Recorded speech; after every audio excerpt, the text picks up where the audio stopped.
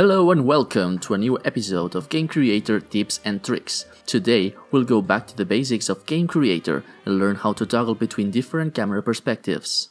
For example, we'll build a third-person playable character that switches to first-person perspective. Let's first create a player. To do so, we'll click on the green diamond on the Game Creator toolbar. If you don't see this toolbar, it might be because it's, it's been deactivated. Turn it on by going to your top menu and select Game Creator, Tool, Show Toolbar.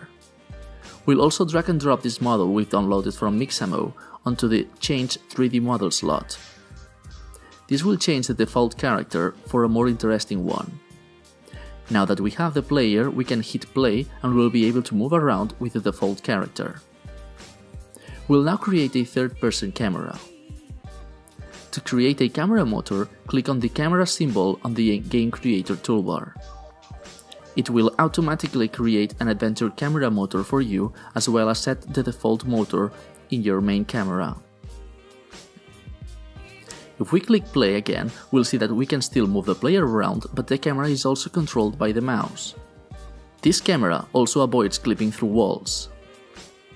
The Adventure camera motor comes with a bunch of different properties that allow you to tweak how it behaves. But for now, we'll leave it with the default values. We will now create another camera motor.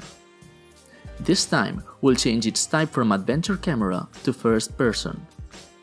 This camera, as the name implies, changes the perspective so it becomes the eyes of the player. We can test this by changing the currently active motor from the main camera to the FPS camera motor. And now we can click play. As we can see, the camera now is placed on top of the head of the player.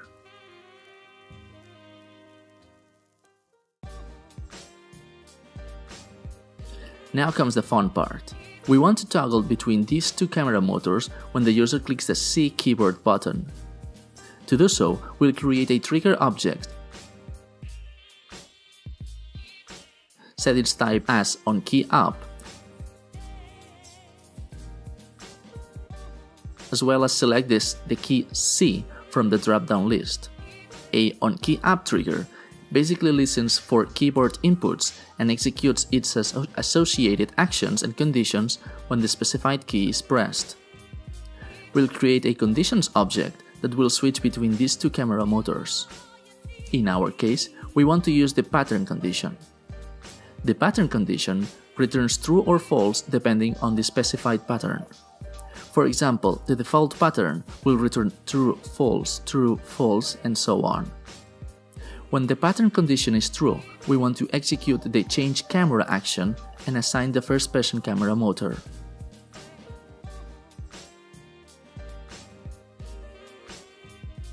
The transition time property allows to choose the duration the main camera will take to switch between the previous camera motor and the new one. We'll create another action at the bottom of the conditions that will be executed when the pattern condition returns false.